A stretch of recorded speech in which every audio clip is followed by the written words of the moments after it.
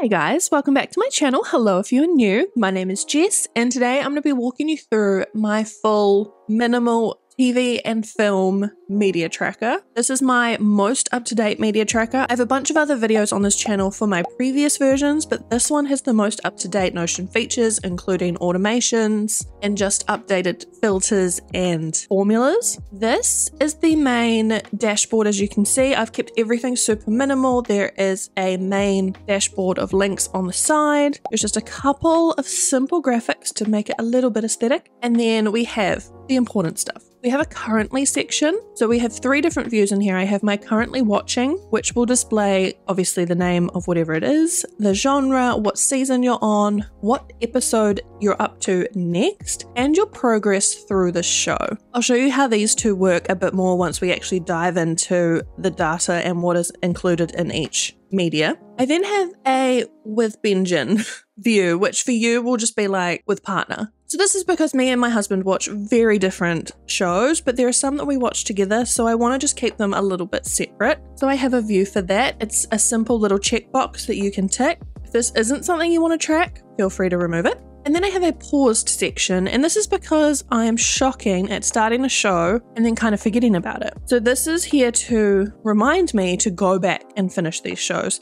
The episode tracking, especially, is very handy to remember where you are up to. Underneath, we have a year to date. This is very similar to my book tracker if you watched that walkthrough that I just recently released. It will show you how many shows you're currently watching and it will display how many films and shows you've watched throughout the entire year. Underneath, then, we have the full library. So, very simply, we have the title of the media, a checkbox, as I mentioned, for whether it's with your partner or not, the type, whether it's television or film, the platform it's on, the year it was released, the season you're currently on, and then, of course, a status. So, I have quite a few options for this. So, we have ready to start, of course, a bunch of different in progress options, and then a bunch of complete options. There's then a genre gallery, which we will go through in more detail on its standalone page, a rating section, of course. The start and completion date are so that the formula I've created can work out your watch time. So this is just here. This will let you know how long it's taken you to complete a series. Obviously, this isn't super accurate if there's been like breaks in between seasons, and unfortunately, there isn't any way to actually like cut that out. But start date to completion date, it will work out that time for you. The year tracker, of course, so that it pulls into your year to date view. And then also a new feature I've added is rewatches. So you just click how many times you've watched this show through. Add more if you get more than five watches of a certain show. Just clicking into one, you'll be able to see all of that data again. I have some of it stored in the top section, so it's very easy to get to. And then I have a lot of different drop downs. So if you want to close these off, you can and just make everything a bit more clean. This template is empty, so it's not the best one to show. But all media will come with this template included where you can add a cover image, a little description of the show, add any thoughts, add any quotes and notes. Again, exactly the same as my book tracker. So, in general, archive will automatically tick when you've completed a show, so you don't have to worry about that one. There's the partner checkbox. I have a media status view as well. So, this is quite handy to know whether a show is still airing complete or cancelled the genres, and the release year. The watch time again is for the start and completion date, and then it will work out the watch time for you. And then the series is where you can keep track of exactly where you are up to within the series. So I mark the total episodes the series has and the current episode I am up to. This will work out the next episode for that little view we saw previously, and it will show this little progress in numbers and then also a progress bar underneath. Ignore the para section once again, this is attached to my second brain, and if you want a full walkthrough of the second brain, that is also on my channel. I'm just popping into Adolescence to show you what it looks like when it's a bit more filled out. I pretty much just copy and paste the data from Wikipedia usually. Get this from wherever suits you best. And again, if you don't want to do this, it's not necessary. I just sort of like to have it Popping back down to the main library, I completely forgot to mention that there are multiple views for you in this section too. We have a visual view, which is my favorite. This one will display, obviously, the cover images you've attached to each media type, just the genre, and your status. There is a ready to start section, so you can see everything that you haven't watched yet. There is a watched section, which is sorted by date. So this is working from your most recent watch to your least recent watch, I guess, again, will show you the genre and your watch time for this show or movie. Waiting on next season, again, is a very handy view to sort of keep track of the shows that are still airing, but they're not out yet. And then I have a separate view for TV shows and a separate view for films, again, just in case you want to see them on their own. In the dashboard, we have a log media button. This will automatically open a new page for you. This is quite handy. Again, if you're on mobile, you can just quickly log something. If you're sitting on the couch, you don't want to be at your computer Just pop the name in, pop the start date, and fill in everything else later as it suits you. The yearly archive, once again, is exactly the same as my book tracker.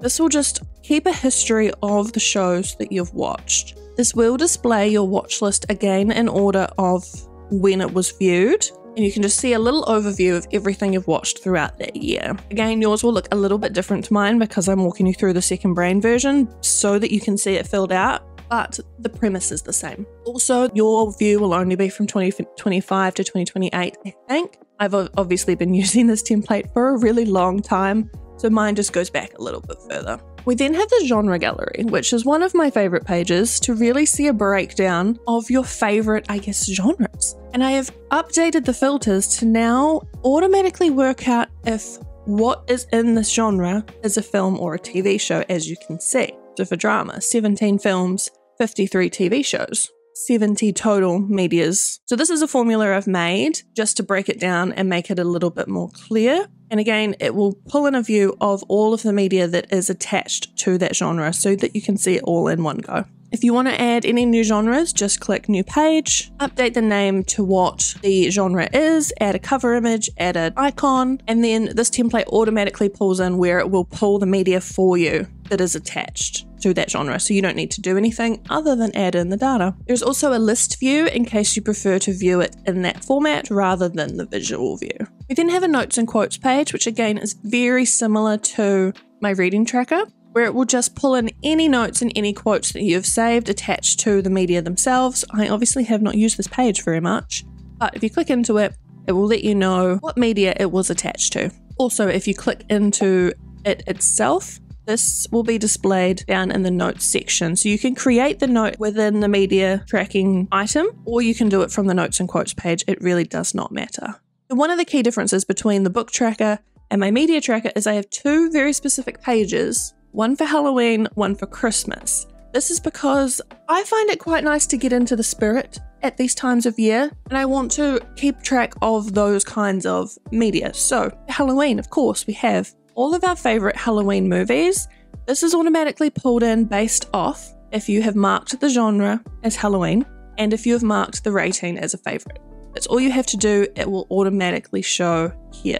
And then there is a visual list and a table list of anything with the genre marked as Halloween. And again, this is just super handy when you get to end of September, start of October, and you want to get in the spirit. Here are all your Halloween movies in one place. Christmas is set up in exactly the same way, except that you would need to mark it, obviously, as genre Christmas. And again, the favourites need to be marked as a favourite, but in this list down here, it'll just be anything that is attached to Christmas. And then we have the entire library page. This is exactly the same as the other one. There is just one page where this database lives. Please do not delete this because this will mess with the entire template. As I mentioned with my book tracker, this is a very simple template in theory. There is just a lot working in the background with the filters and the formulas to make it really useful for you. But it is so easy to use and so intuitive, so I really hope you enjoy it. If you have any comments at all about this template, please post them down below. It is now available in my Etsy shop as my minimal media tracker. I have also themed trackers and I have my original, the big screen media tracker. As mentioned, this one is the most up to date, but it is also the most simple. So if you prefer something a little more aesthetic, those will work pretty similar, and I have videos on all of them as well. One quick thing that I did not walk through is this template does include automations. There are three. One here is that if you mark the status to rewatching or watching, this will uncheck the archive box if it happens to be checked. When you mark a status to waiting on next season, it's automatically going to set the archive to check. This is because the checked box is used in a bunch of the formulas, so it needs to do this for that data to be accurate. So now you don't have to do that. This template will do it for you. And the last one is it will archive the completed media. It will, if you mark it to dropped or watched, it will set the archive to checked and it will set the completion date for you to the date that you triggered it. So that's one important thing to remember. If you mark something as watched after the date that you watched it, you will need to go back and update that date because it will set it to the current date from when you updated that status. I hope that makes sense. Let me know in the comments if it doesn't, I can try explain it a bit better. But these three automations come with the template whether you have a paid Notion plan or not. If you don't have a paid Notion plan, you can't edit them, but you can remove them if you don't want them. If you have the paid Notion plan, you can update them, you can add more, you can do whatever you like with those. I hope that little walkthrough was helpful for you. I hope it gave you a bit more insight into this template. If you liked it, please give it a thumbs up. It really supports my channel, and I'll see you all in the next video. Bye, guys.